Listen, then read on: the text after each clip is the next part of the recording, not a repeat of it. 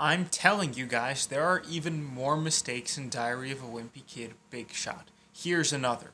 Greg states on page 85 that the only real experience he had with basketball was when they did a basketball unit in his physical education class. On the next page, Greg states that the school's only basketball was deflated, so they had to play with a balloon. However, in Diary of a Wimpy Kid, the third wheel, Greg mentions that he is in a basketball unit in physical education class, and we can clearly see a student using a normal basketball. Here are the students again playing in a basketball scrimmage with an actual basketball, and the only reason that they are scooting on the floor is because they don't want to get pantsed. So Greg stating that his experience playing basketball was only limited to playing with the balloon is a complete lie.